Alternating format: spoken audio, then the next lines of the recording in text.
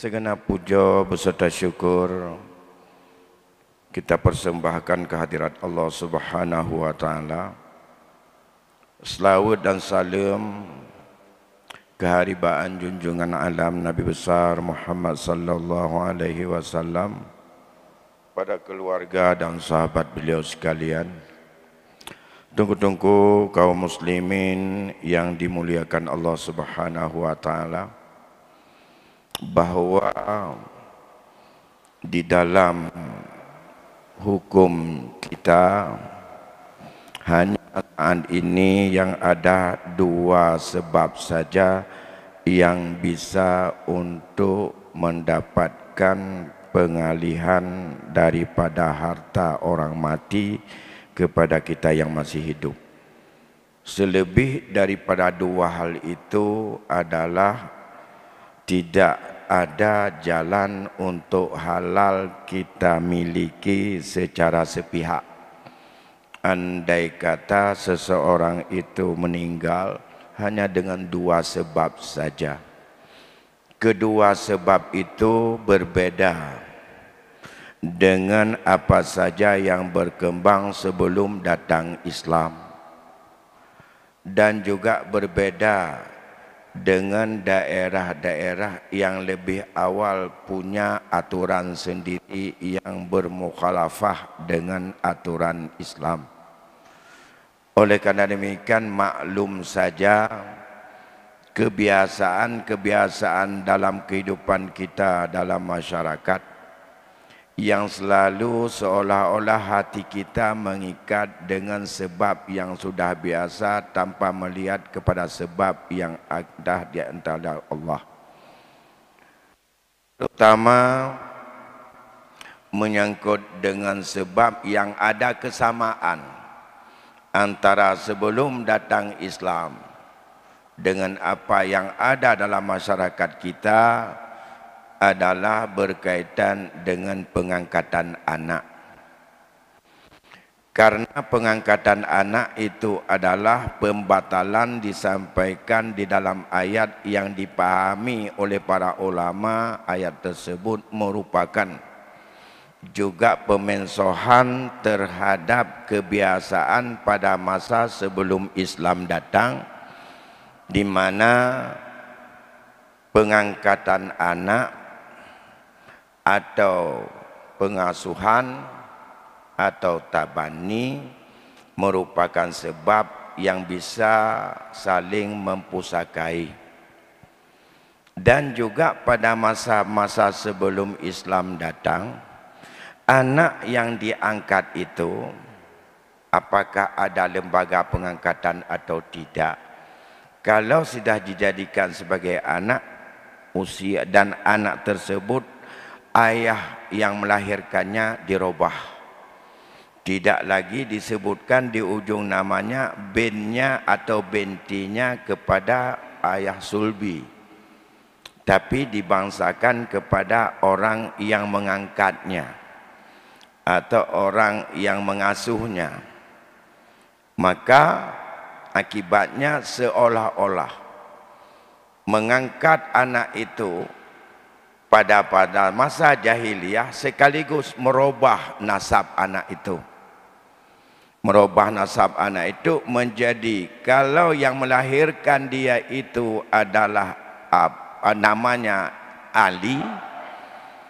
Kemudian saat kecil diambil orang lain menjadi anaknya menja oleh si Umar, maka anak tersebut berubah. Ya. Misalnya Muhammad bin Ali yang sesungguhnya berubah menjadi Muhammad bin Umar. Dan itu kebiasaan sehingga segala apa saja yang berlaku hubungan ayah dengan anak. Hubungan ibu dengan anak berlaku juga kepada anak yang diangkat tersebut. Baik dalam pergaulan maupun di dalam saling mempusakai itu adalah pada masa jahiliyah. Lantas Allah dalam surat Al-Ahzab menganjurkan dan memerintahkan orang-orang yang mukmin agar panggillah mereka itu dengan nama orang tua mereka udhum li abaihim panggillah mereka itu adalah sesuai menurut bapa-bapa mereka rasul juga pernah untuk mengangkat anak tapi setelah itu Rasul membangsakan daripada Zaid itu sebagai anak angkatnya kepada orang tuanya. Setelah ayat ini turun. Kemudian menunjukkan putus hubungan sama sekali. Di saat anak dari Zaid ini kawin dengan seorang laki-laki. Laki-laki itu menceraikannya. Rasul kahwin dengan anak daripada anak angkatnya.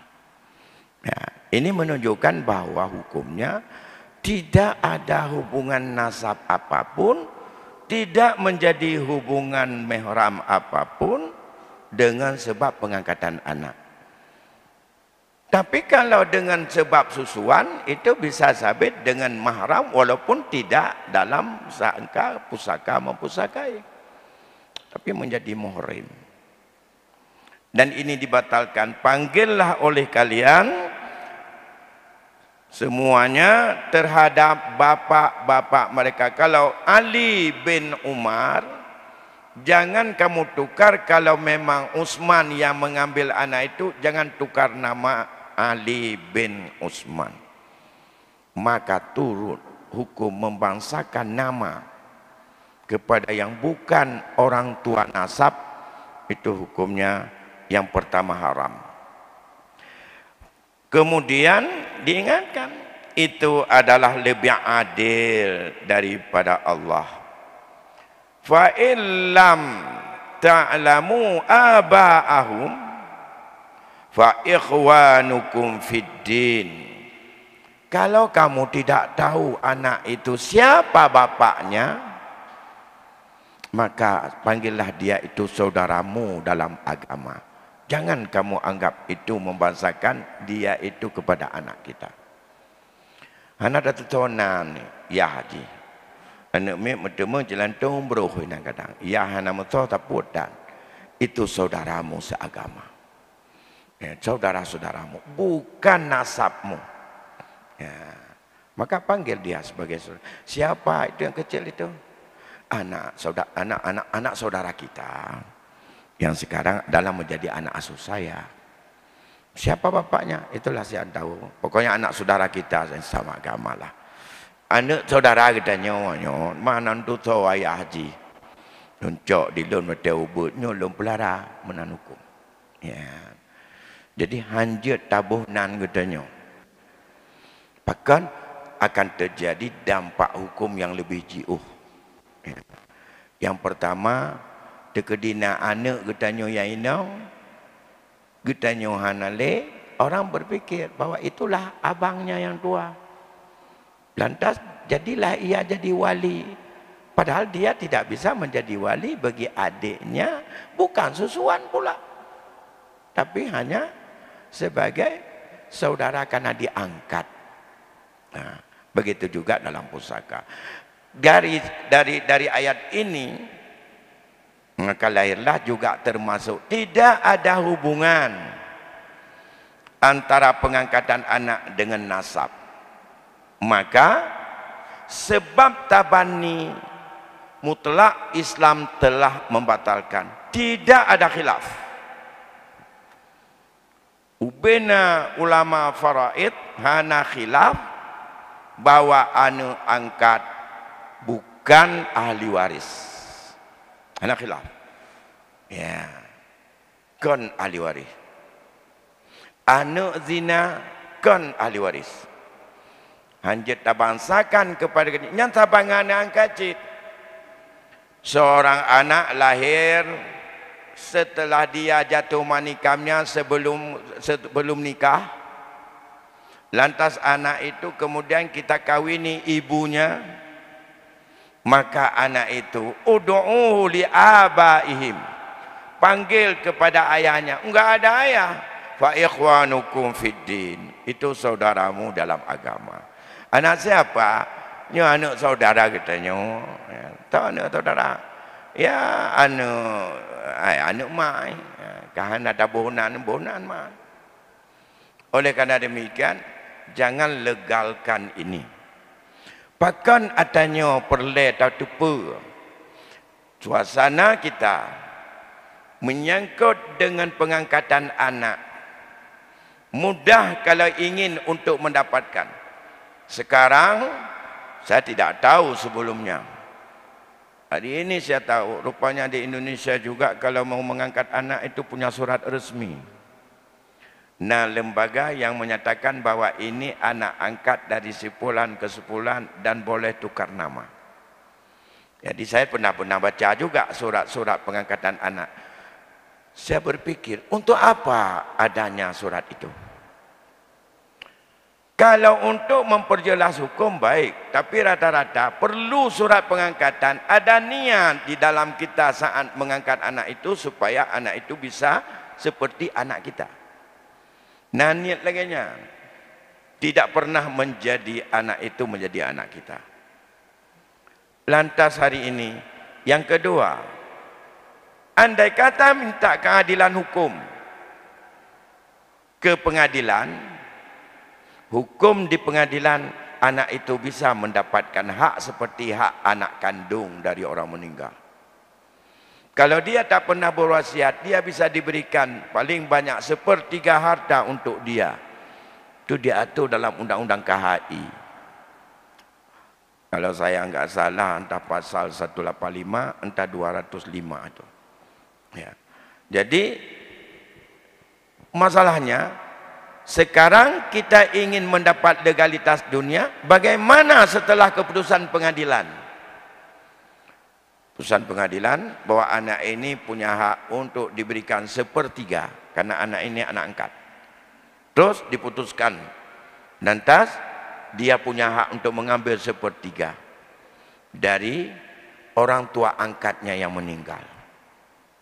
Nah, status daripada benda yang dia ambil sepertiga itu menurut hukum agama dia itu haram makan. Dan dia itu tidak halal dia makan. Karena itu bukan hak dia. Islam tidak pernah memberikan pada hakikatnya. Hakikatnya barang itu adalah milik ahli waris dan dia bukan ahli waris. Tapi karena menurut hukum itu adalah dia wajib diberikan dengan jalan paksa. Oh dikiaskan kepada wasiat wajibah. Wasiat wajibah itu adalah pemahaman dalam ayat wasiat.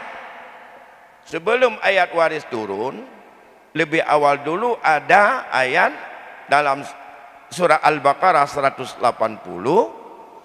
itu adalah untuk wajib memberikan wasiat kepada dua ibu bapa dan kaum kerabat. Kutiba alaikum iza hadara ahadakumul maut antara kanil wasiyata lil walidaini wal aqrabin.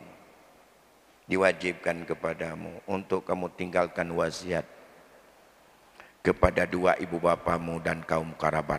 Sebelum meninggal, wajib kalian tinggalkan wasiat tentang harta pusaka ini kepada orang tuamu atau alum kerabatmu.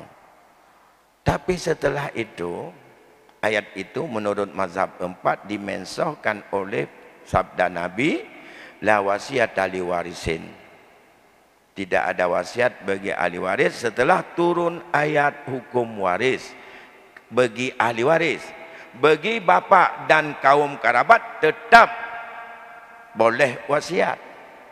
Boleh wasiat. Tapi tidak wajib wasiat.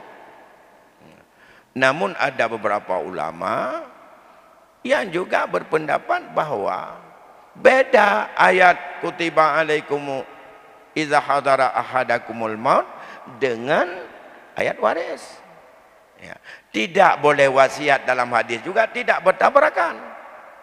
Karena dalam hadis yang dilarang wasiat kepada ahli waris.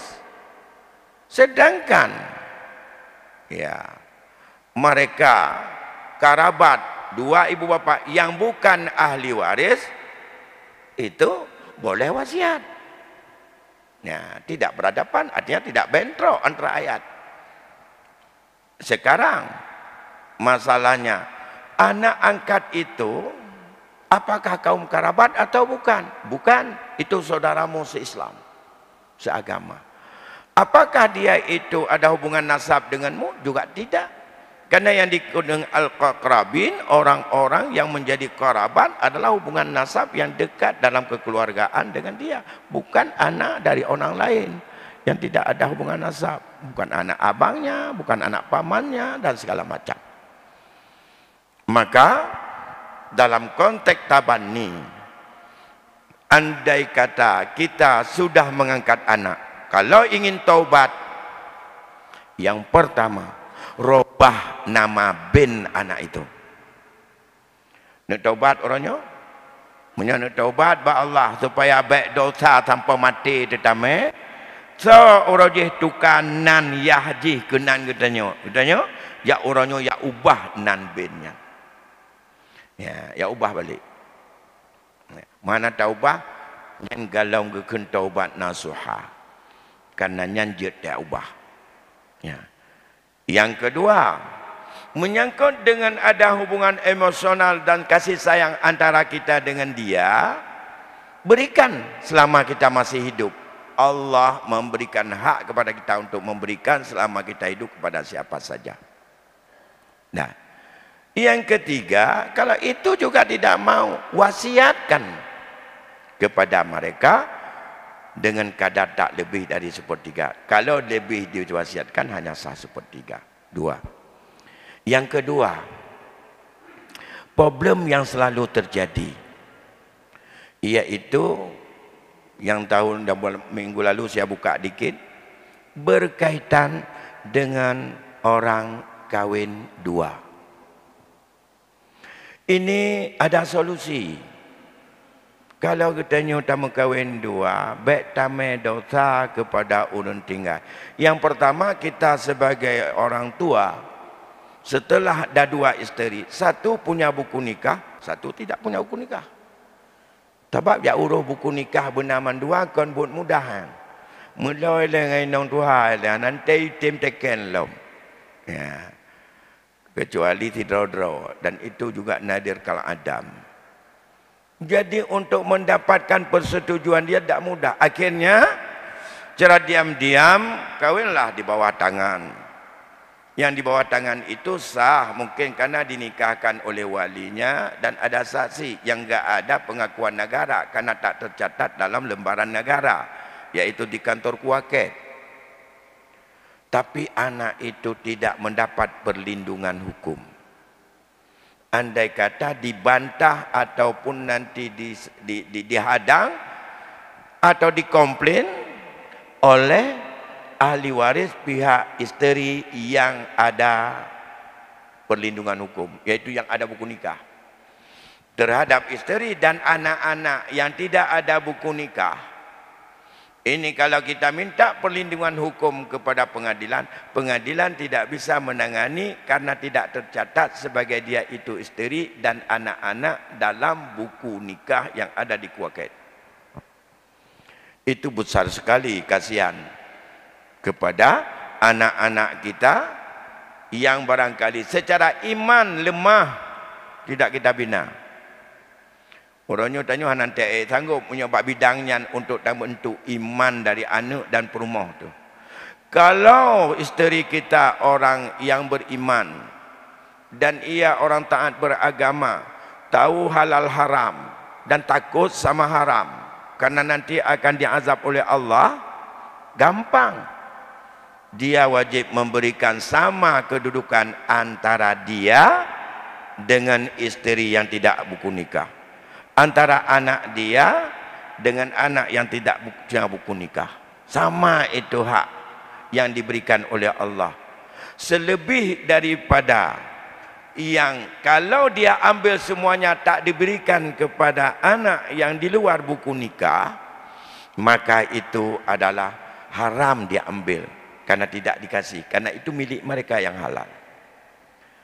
Kalau begini, minta untuk diadili saya juga anak buktinya mana Ya karena dia sudah kahwin dengan ibu saya. Ibu saya ni isteri. Coba tanya. Betul. Ibu ada buku nikah? Enggak. Berarti tidak bisa dilindungi. Karena di dunia orangnya lebih ada orang yang penting selesai dunia. Iman dan ada kepentingan.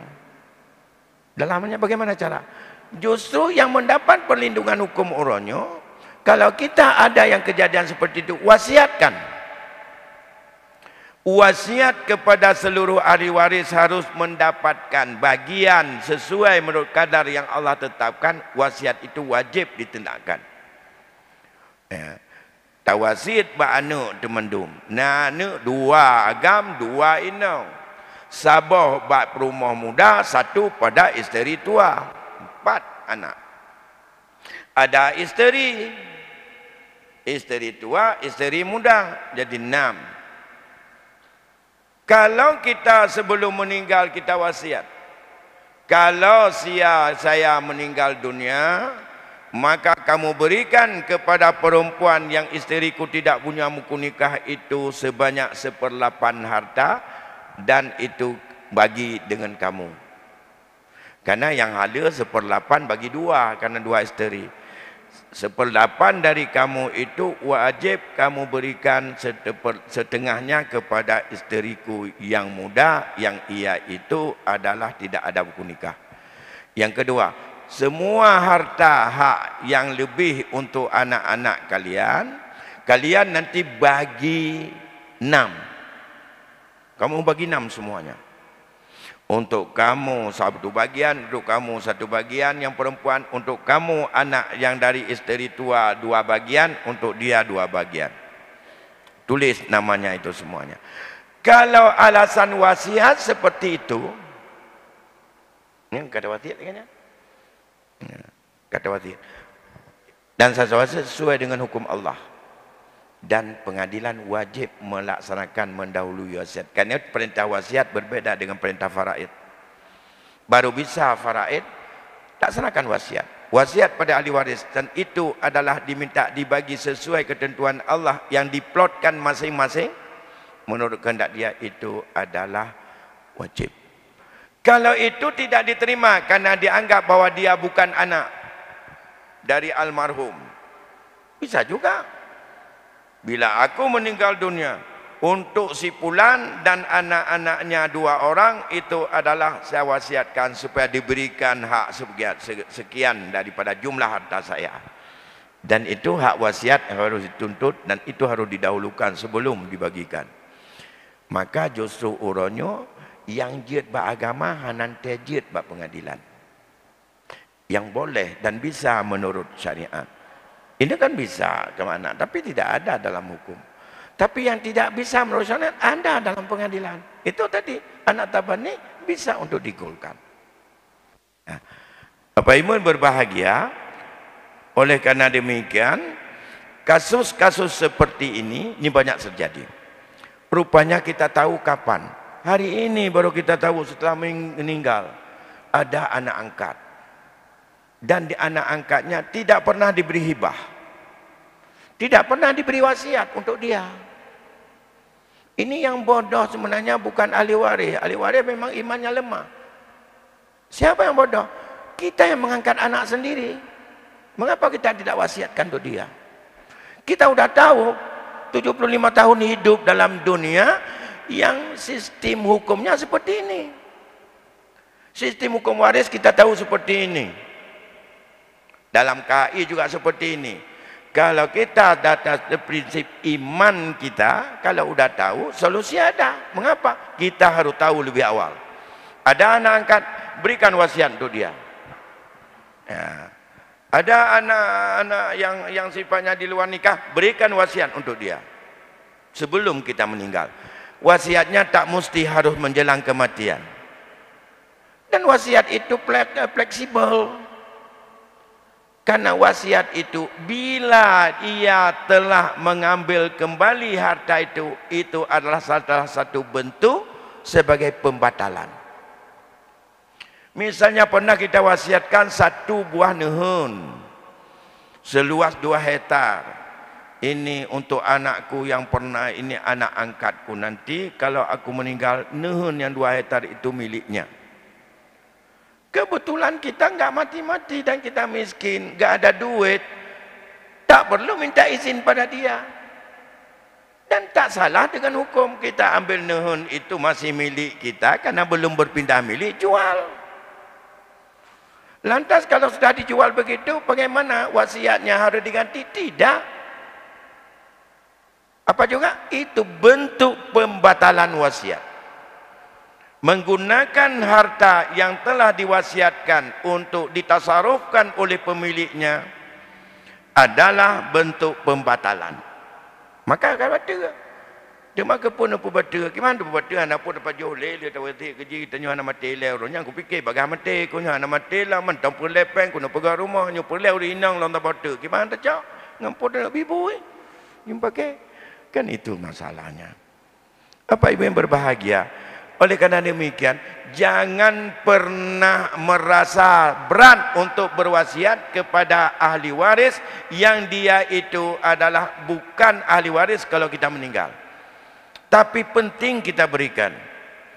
Kita masyarakat Aceh banyak sekali orang yang sangat berjasa dengan hidup kita tapi itu belum tentu dia ahli waris yang anak kandung kita belum tentu berjasa dengan kita tapi lebih berjasa anak asuh atau seorang babu yang ada di rumah kita.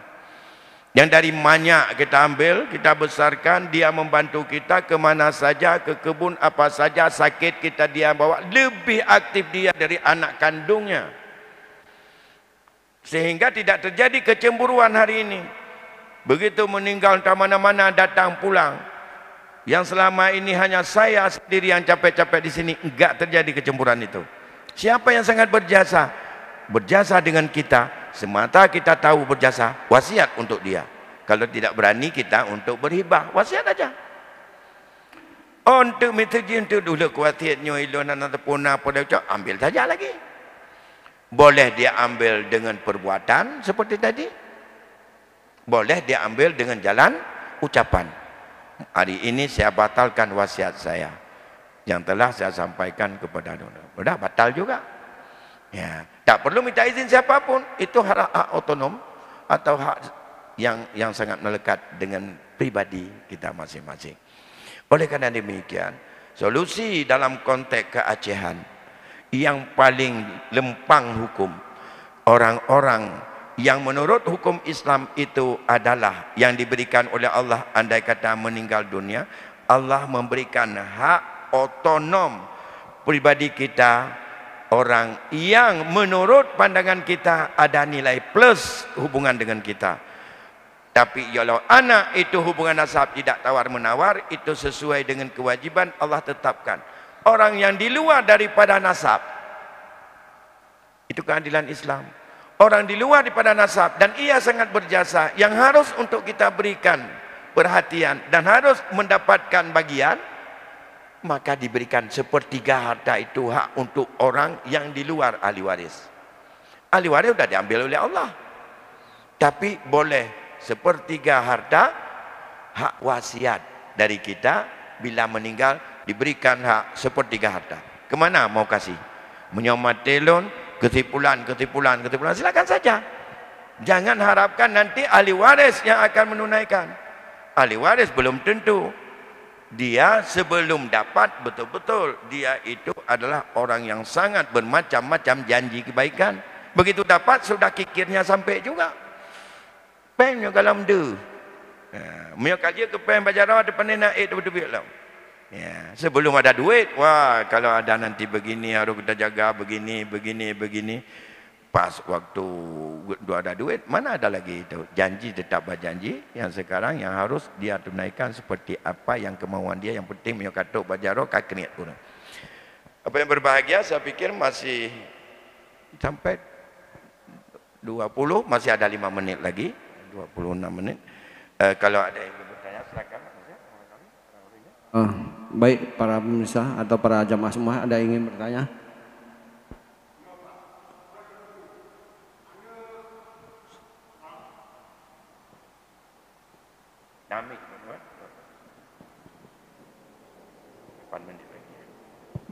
Ya.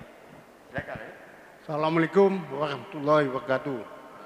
Anak di luar nikah dia dikategori ke anak yatim. Assalamualaikum warahmatullahi wabarakatuh. Jadi anak di luar nikah apakah sama dengan anak yang meninggal ayah kemudian anak yatim dikatanya kerana orang syekh meninggal mantang je ubud galau balik. Orangnya anak di luar nikah. Apakah dia sama disamakan dengan anak yatim? Kerana dia enggak ada ayahnya? Tidak. Kerana mengapa? Allah mengapa? Kehilangan dia dari pertama memang sudah hilang. Sebagai orang yang bertanggung jawab dalam keluarga. Siapa yang tanggung jawab material? Ayah makanya diperintahkan harus nikah. Dengan lahir dari sulbi kita anak itu kita punya tanggung jawab nafkah sampai dia bisa mandiri. Balik nyoba saja karena memang ini lahir sulbi tanya.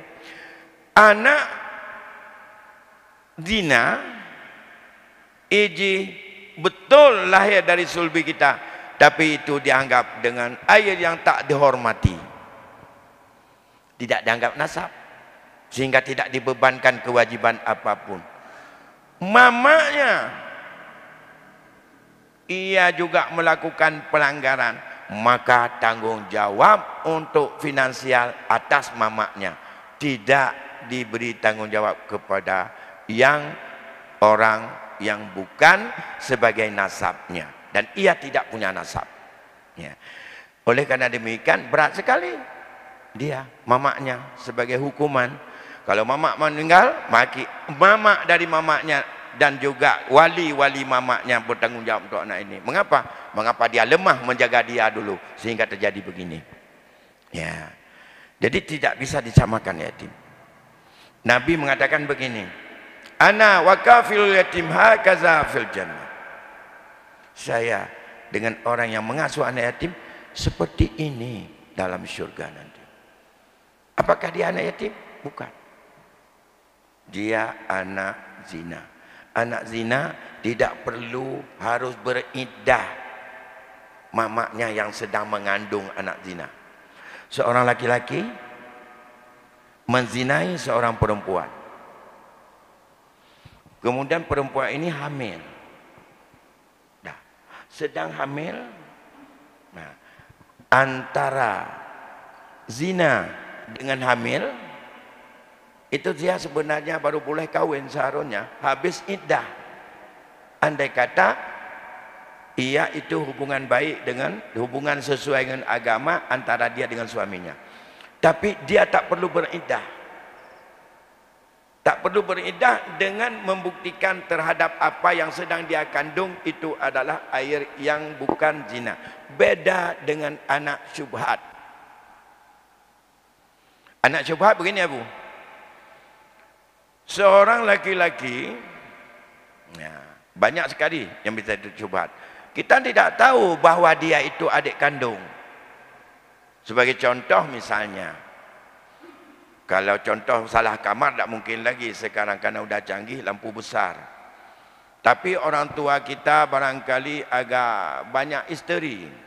Kemana saja ada isteri. Pernah tahu kita dia pergi ke Medan, ada kahwin di sana satu. Kemudian wa Aceh, Aceh pergi mengkahwin ni. Jak bandar Aceh dia tak tu. Jak Jakarta dia tak Puak bah hinang tu. Anak taturi musabah orangnya meninggal kan Setelah meninggal apa, apa, ayahnya, dia ada empat isteri. Empat-empat ada anak perempuan dan ada anak laki-laki. Beda dia katanya, bak jak-jak ujar kata, apa anak ayah katanya, jak kulah tepat lagak bedah tam cewek mengkahwin begitu habis nikah dia enggak ada lagi orang tuanya enggak ada pamannya memang pamannya enggak ituri abangnya hanya ituri citra je sebab itu ya. ayahnya sudah meninggal pamannya enggak tahu enggak ada ya. Paman dari ayah enggak ada. Saudara ayah enggak ada. Mana itu pun teman saudara ayah kan nyampai lok tu rumah ko. Gum kawe dia kata dia. Dia nak nak tahu jak meninggal kan ni no. Mana itu pak leya.